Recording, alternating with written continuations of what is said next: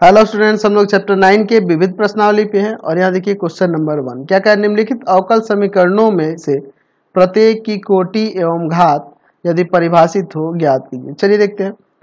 First number में देखिए, इसका कोटि आपको दो दिख रहा है। कोटि इसकी कितनी है? दो है।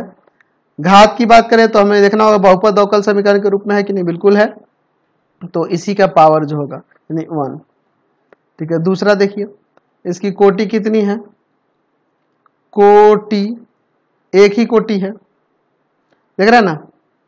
फ़र्स्ट ऑर्डर का डेरिवेटिव इसमें शामिल है और घात की बात करेंगे तो इसी में से ये ये को यहाँ पावर में टू है या थ्री है तो दोनों में से जो हाईएस्ट होगा वही ना, यानी कि थ्री चलिए थर्ड नंबर देखिए। कोटि तो कोटि यहाँ पर देख लीजिए फोर है।